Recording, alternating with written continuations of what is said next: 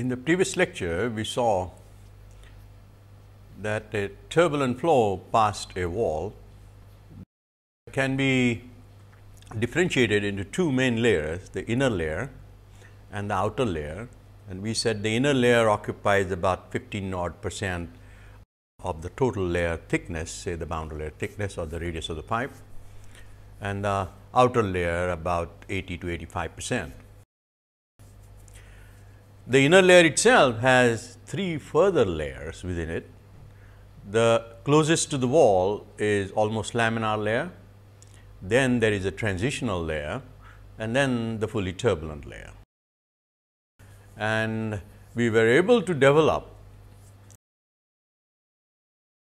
a set of laws governing distribution of velocity with respect to the wall normal distance y in terms of dimensionless variables u plus and y plus. And we found that these this relationship between u plus and y plus was quite universal at least up to y plus of 100 which is really the 15 percent of the layer. Today, we wish to examine how the inner layer interacts with the outer layer and we shall use that understanding in a later lecture to model to carry out turbulence modeling. And we will develop this understanding through measured variations of turbulence quantities. We will look at the mean kinetic energy balance in the turbulent layer and also the turbulent kinetic energy balance in the layer and that is how we will see what gives way and what gains in this interaction between outer and inner layers. So, let us have a first look at the measured variation of turbulence quantities. Here is a three plots. The one on the left A is for the 0 pressure gradient boundary layer, B is for a mildly favorable pressure gradient as in a pipe flow and the one on the on the right C is for a fairly strong adverse pressure gradient boundary layer. What is plotted here is the u prime squared divided by u infinity v prime uh, sorry v prime squared divided by u infinity and w prime squared divided by u infinity and uh, versus y divided by delta going up to 1. And you can see the tendency is that u prime squared divided by u infinity would be highest in uh, all cases followed by w prime square and then this is the wall normal velocity component v prime squared which is the lowest. The intensity tend to be high near the wall. Say at about in a zero pressure gradient boundary layer the highest intensity would occur at about 15 percent of the boundary layer thickness. Very similar even for a pipe flow which is a mildly favorable pressure gradient. And uh, but in adverse pressure gradient the peak somehow shifts to a much larger distance, to say about 0.35 times delta. So, u prime squared in a zero pressure gradient boundary layer and pipe flow are very similar.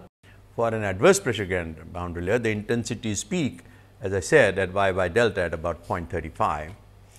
u prime squared is uh, highest and v prime squared is the lowest in all cases. The outer layers thus demonstrate considerable anisotropy what is meant by anisotropy is that there is a considerable difference between u prime squared, v prime squared and w prime squared. And as I said from here onwards, you have the outer layer, the 85 percent of the layer. But when you come close to the wall, the anisotropy goes on reducing.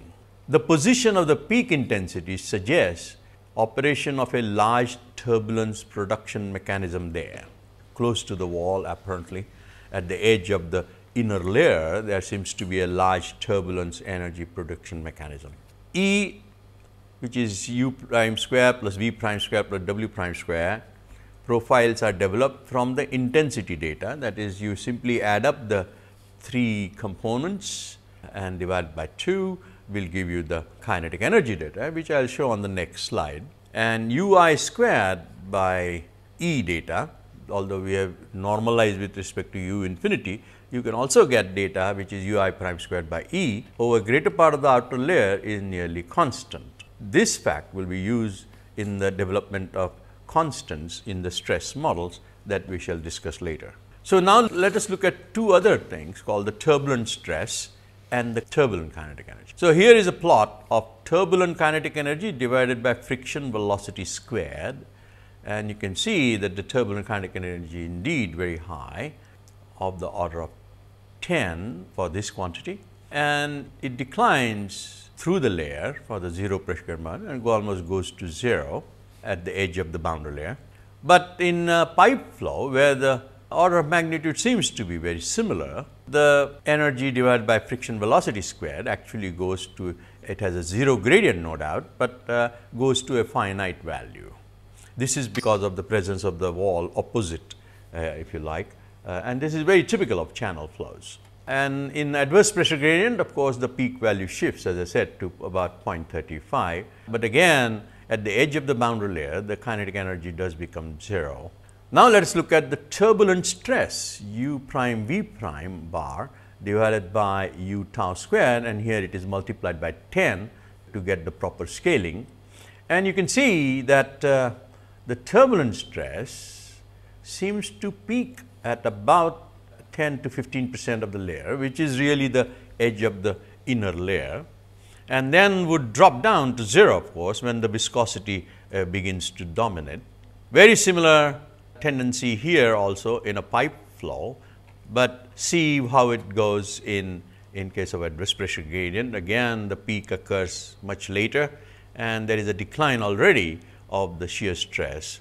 Now, the idea that the turbulent stress is actually linear, turbulent very very linear in the outer parts very nearly linear here as well in pipe flow with respect to distance from the wall and uh, but in adverse pressure gradient the variation is quite different it is not at all linear till you went very very far out into the boundary layer.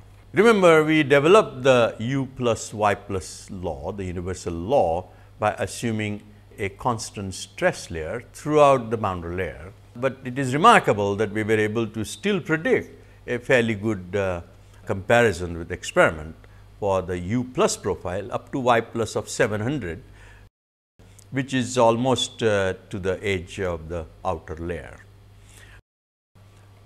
But frankly speaking, the shear stress does total stress and here in this part the laminar stress of course would be very very negligible. But as you go close to the wall the turbulent stress drops down, but the laminar stress would begin to dominate and therefore, in the inner part of the layer the constant stress layer assumption is not a bad one. Uh, the total stress remains constant in the inner part of the layer and that is what we found. That was the assumption we made in, in developing the u plus y plus relationships and they were found to be quite good up to 100, but not beyond let us say 200 in some cases, 300 or 700 in other cases. And this is what I discuss here that uh, in a zero pressure gradient boundary layer, the turbulent stress is nearly constant in the vicinity of the wall uh, of y over delta 0.1. In the vicinity of the wall meaning somewhere about here, somewhere about here, but then of course, it drops down. The turbulent stress would drop down, laminar stress would take over. So, we develop for the turbulent part of the inner layer using constant tau t equal to tau tot and we are able to develop the logarithmic law for the inner region. And we found that the we were able to get good agreement even up to y plus of 700, which is really surprising, but uh, nonetheless quite good uh, that the constant stress layer still uh, is able to predict u plus y plus relationship. In strongly adverse pressure gradient boundary layer, the assumption of tau tot equal to constant is not at all verified. As such, it was not possible to correlate the velocity profile by the logarithmic law beyond y plus of 100. And the outer layers are thus considerably influenced by the history as well as the boundary conditions and that was our conclusion even earlier. Now, let us look at the mean kinetic energy equation for a boundary layer. And what I have done here is u and v have been normalized to u plus equal to u divided by u tau and likewise v plus equal to v divided by u tau. Energy is likewise u squared plus v squared divided by u tau of course divided by 2 u tau squared. So, that is uh, the energy E plus. So, if you look at the equations here term A is the convective term, term B is the laminar diffusion term, term C is the turbulent diffusion term, D is the viscous dissipation term and term E is the loss of mean energy due to turbulent kinetic energy production. So, let us see how each of these terms varies by using our measured velocity profiles, we can construct the magnitudes of each of these terms and let us see what they look like. The figure on the left shows the inner layer going from 0 to y plus of 100 and this is uh, y by delta now from 0.1 onwards if you like. So, this figure ends here and now in the physical coordinates uh, y by delta, but here it is the dimensionless coordinates y plus have been used.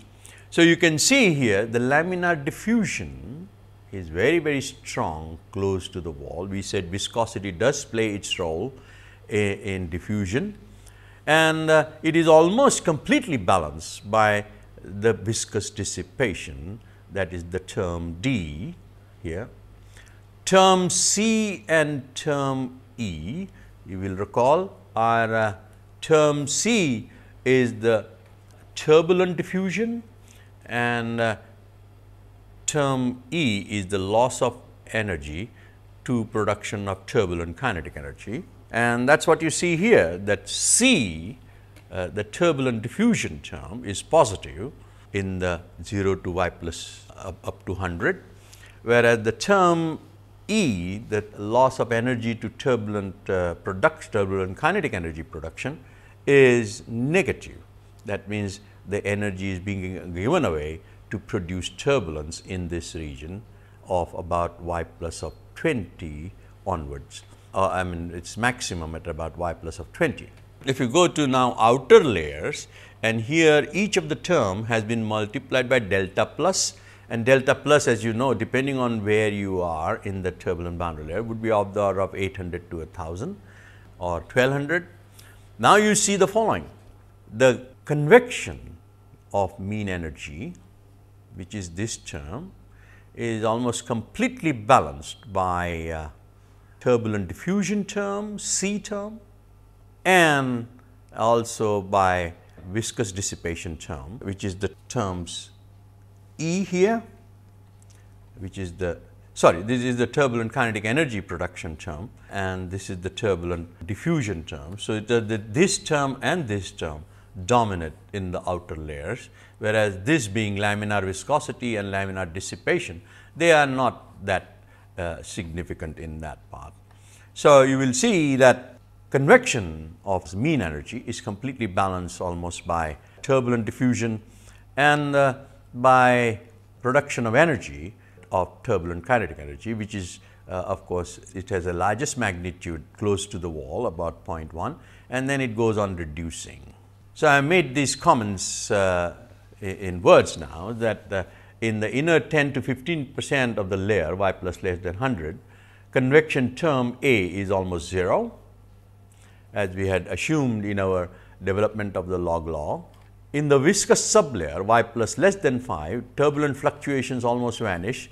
As such, the laminar diffusion term B equals the viscous dissipation term and that is what I showed here that the viscous y plus of less than 5 which is the laminar sublayer, you will see all other terms are almost 0 and viscous diffusion is balanced by viscous dissipation. In the transitional layer 5 to 30, all terms on the right hand side are significant and that is what we showed here. Now, you can see from, from 5 to about 30 all terms are significant viscous diffusion, turbulent diffusion, turbulent viscous dissipation and transfer of energy to turbulent uh, kinetic energy production. Uh, all are significant up to about let us say 30 here. And then you find that the terms being the viscous diffusion and viscous dissipation terms almost become negligible. And these terms assume a very small value and that is why I multiplied these terms by a factor of 10 to show uh, how they respond in the outer layers. So, this point here corresponds to that point over there after multiplication by 10. The viscous effects are negligible in the turbulent inner layer y plus greater than 30, hence the terms B and D are 0 and turbulent diffusion equals term E, the turbulent production of energy to turbulence. When the equation is integrated from y to delta, contributions of terms B and C vanishes. As you can see, C was positive here and then still positive here becoming negative. So, the area under this part and under this part just cancel each other. Likewise, the laminar diffusion which is negative here and it turns slightly positive. The laminar diffusion is here uh, it is positive and then goes up to negative and therefore, itself cancels out right here within the inner layer. These terms simply redistribute energy within the boundary layer. Now, if you look at the right figure on the outer parts, then uh, the loss of mean energy to turbulence term E reduces with distance from the wall. The gain in the mean energy due to convection is practically due to the work done by turbulent stresses. This is the term C. Near y by delta equal to 0.1, the stress terms also make up for the loss to turbulence since convection being small is unable to compare this loss. What is meant here is that this little turbulent diffusion here makes up for the loss, compensates for the loss here. There is thus a flux of energy from the outer layers to the inner wall region due to turbulent diffusion. We shall now develop a similar balance for turbulent kinetic energy and to do that we shall derive convert our E equation for a boundary layer, the turbulent kinetic energy equation and assuming 0 pressure gradient, then we have this is the convection term of the turbulent kinetic energy. B is the turbulent diffusion due to pressure fluctuation and velocity fluctuation. C is the gain due to turbulent kinetic energy production that is the term C. D is the laminar diffusion of turbulent kinetic energy and finally, loss of due to turbulent energy dissipation which we symbolize by epsilon. Let us look at how these terms vary and again I have a plot here. Now, what I am doing here is to show not measured data, but data that were computed by direct numerical simulation by a person called Spalart. Again, I am showing uh, the inner region here, but this time going only up to y plus of 50 here and then the outer region here. First look at term D. What was the term D? The term D is simply the laminar diffusion term that is making a positive contribution to energy, but it is also becoming negative after about let us say y plus of 5 and uh, therefore, the its integrated value will be 0. Term E is the turbulent energy dissipation and again that is quite large at the wall, but then goes on reducing to the beyond transitional layer itself, it becomes almost negligible. Now, let us look at term B, which is the as you will see term B is the diffusion due to pressure fluctuations and, and velocity fluctuations. So, there is a sudden increasing intensity of pressure fluctuations and, uh, and velocity fluctuation near the wall and you will see that therefore, you get B is positive making positive contribution, but it very quickly turns negative here and in fact, you will see B will continue even in the outer parts uh, continue to make negative contribution from here and uh, then turn positive towards the end. But you will see that the net contribution of term B is almost 0 because positive area, negative areas balance and therefore, very little contribution is made to the overall energy balance. But locally those terms are very important. Finally, we look at term C which you will recall term C is the gain of turbulent kinetic energy due to this is the loss term in the mean kinetic energy equation which turns out to be the the gain term in the turbulent kinetic energy and it is a gain due to turbulent kinetic energy production term. So, this is C is the production term and that is what you see here. The production term peaks at about y plus of let us say 20 odd and then uh, or, or let us say about 15 or 18 odd which is really the end middle of you like of the transitional layer and then begins to fall. Then begins to fall, the term C begins to fall it is transferred to this part here and then it will ultimately go down to 0. So, turbulent kinetic energy production is large here, but slowly it is becoming smaller and smaller and smaller towards the edge of the layer. Finally, we will look at the term E and just to capture here, term E is the turbulent energy dissipation and that we said was large at the wall decreasing here and this is transferred here and it goes on reducing, reducing and reducing till further and therefore, very little dissipation, turbulent energy dissipation takes place in the outer layers.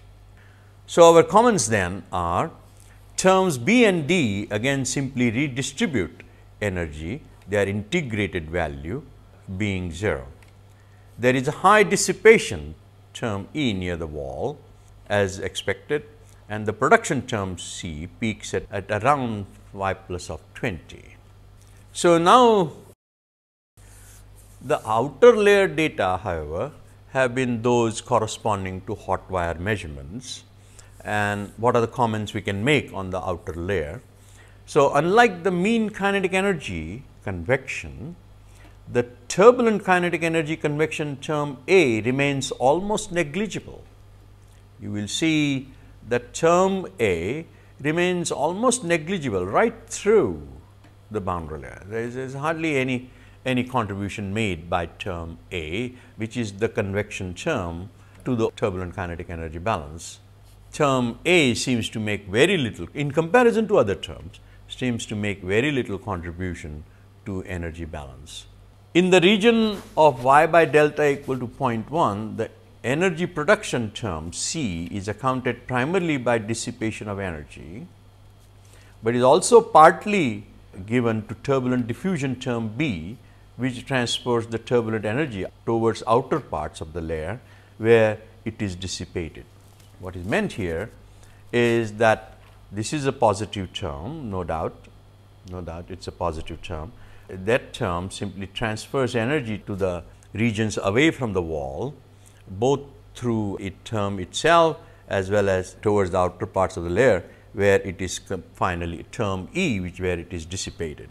Thus, a mechanism exists whereby there is an influx of mean kinetic energy from the outer layers which is in part directly dissipated within the outer layer, but in part diffused back by turbulence into the outer region. So, let us read this again a mechanism exists whereby there is an influx of mean kinetic energy from the outer layers towards the inner layer, which is in part directly dissipated, but in part diffused back by turbulence into the outer region.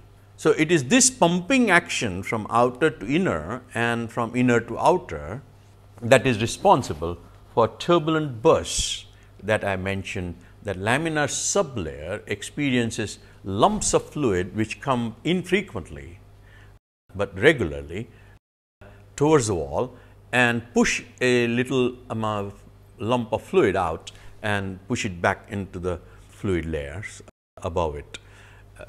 So, it is this pumping action which is explained by this mechanism, but it is this burst which comes out from time to time which really sustains turbulence ultimately.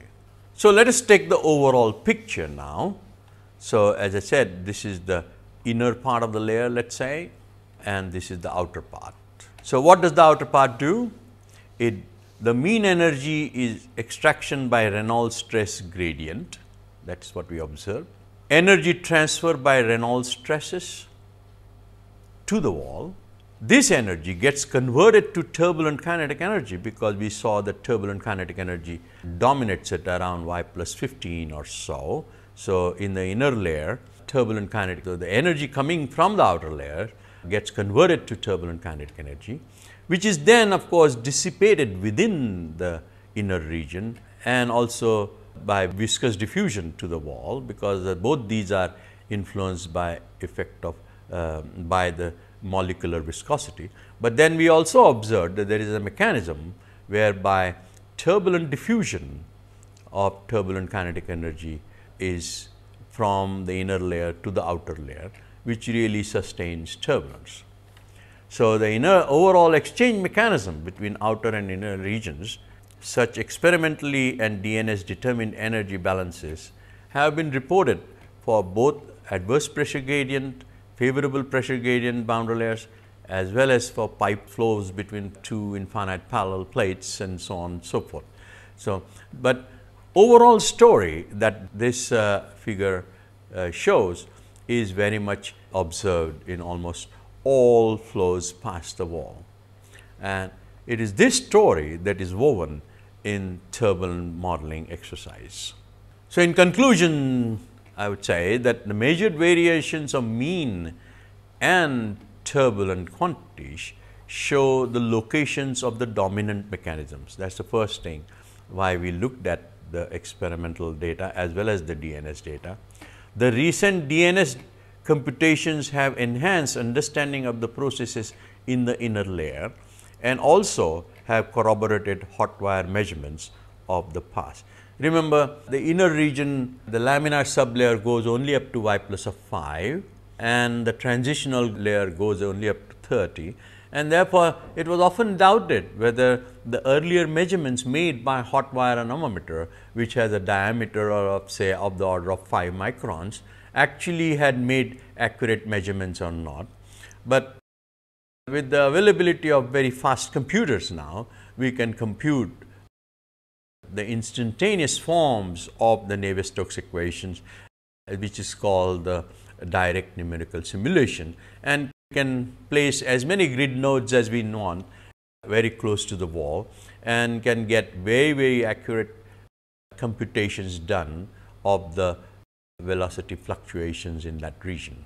And therefore, DNS data are very valuable. They, it is fortunate that they corroborate the understanding that was developed earlier by particularly the measurements made by Townsend. Those measurements have been verified by the DNS data. Understanding of the net exchange mechanism aids in development of turbulence models of different levels of complexity for both the outer layers as well as for the viscosity affected inner layer. Turbulent models are needed for both engineering flows as well as for environmental and atmospheric flows. What I mean here, for example, in engineering flows, the boundary layer thickness would be let us say of the order of a few centimeters or a few millimeters uh, in fact. Atmospheric boundary layers are of the order of meters. Is this description valid there? It turns out that although not in every detail, but the overall detail is very much reproduced even in atmospheric boundary layers. So, in that sense, these measurements done in the laboratory are very valuable. Of course, nowadays measurements have been made even of uh, atmospheric boundary layers with very sophisticated instrumentation to create thick boundary layers on the terraces of, of buildings and so on and so forth, long terraces with very big wind tunnels to blow air to create a large, very thick boundary layers. And, and measurements so that the measurement uh, accuracy increases and we would therefore find is strange that we find that majority of the measurements made earlier in smaller diameter pipes and flat plates in small wind tunnels are actually getting reproduced even in thicker boundary layers. So, we can trust our overall approach to understanding of the exchange mechanism on the basis of the data that was gathered in pipe flows and uh, small thickness boundary layers.